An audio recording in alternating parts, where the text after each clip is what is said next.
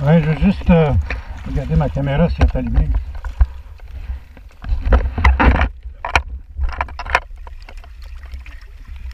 Elle est